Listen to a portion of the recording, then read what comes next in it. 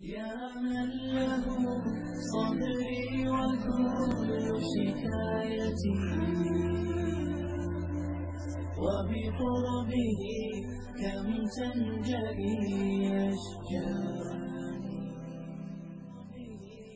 الحمد لله رب العالمين والصلاة والسلام على على الصادق الأمين سيدنا محمد وعلى آله وصحبه أجمعين وعلى من اهتدى بهديه وسار في طريقه بإحسان إلى يوم الدين.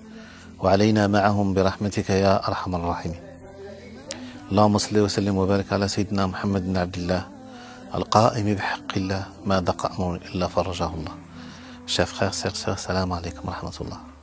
En continuité de ce que nous avons dit la semaine dernière, si vous vous souvenez bien, comment accueillir le mois de Ramadan Que le mois de Ramadan est à nos portes et il convient pour chaque fidèle qui aspire à un meilleur être moral et spirituel de mieux préparer, de mieux se préparer pour vivre pleinement ce mois béni. Nous avons dit que parmi les éléments de réponse, il convient de prendre conscience de la valeur de ce mois béni. En deuxième lieu, il convient de euh, connaître les règles et les préceptes de ce mois béni, le savoir et le guide de l'action. Et en troisième lieu, nous nous sommes arrêtés sur la question du Coran, réciter le Coran inlassablement.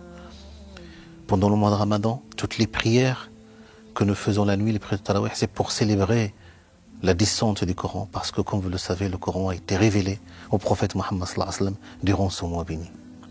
Le Coran est le festin de Dieu, nous disait le prophète et qu'il faut accepter l'invitation qui vous est faite de toutes vos forces. Et les- le lien, la corde qui vous lie à Dieu, et la médecine bénéfique.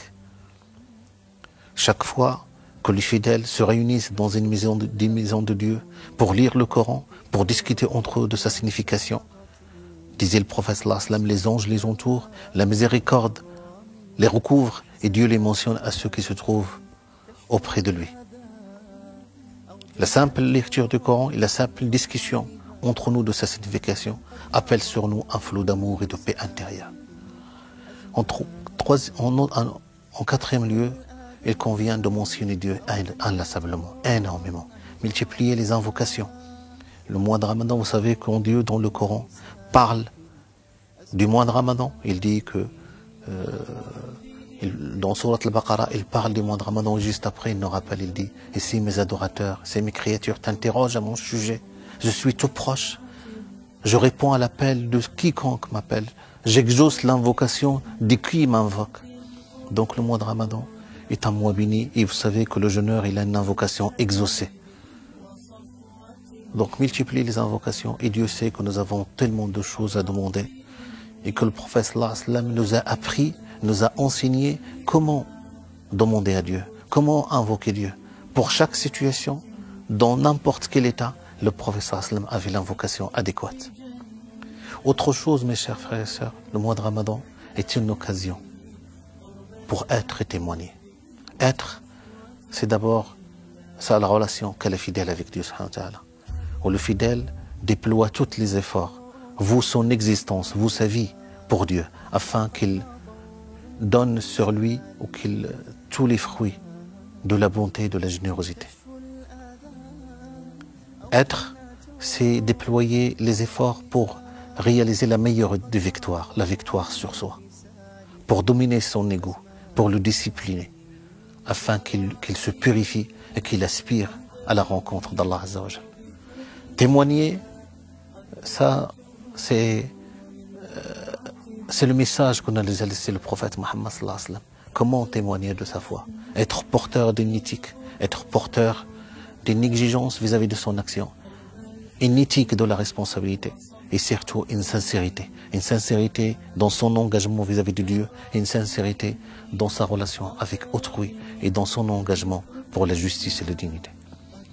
Et en dernier lieu, mes chers frères et sœurs, pendant, le mois de Ramadan, avoir bon cœur. Un cœur qui n'en veut à personne. Avoir bon cœur, ça veut dire une certaine exigence vis-à-vis de son comportement. Il y a là, au début de ces comportements-là, c'est le comportement vis-à-vis de nos proches. Et surtout les parents, les liens de parenté. C'est très important, les liens de parenté, les liens familiaux, les liens d'amitié. C'est très important de les entretenir. Ce qu'on appelle silatul rahim. Ar-rahim, c'est dérivé de Rahman. Donc entretenir ces liens, ça permet d'approfondir, de fortifier et d'asseoir et de raffermir notre foi.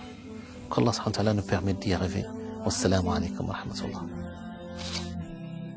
فاكتب بجنات الخلود مكانتي قرب الحبيب وصفوة الخلان يا رب إني قد رضيت بكل ما قد ذقته.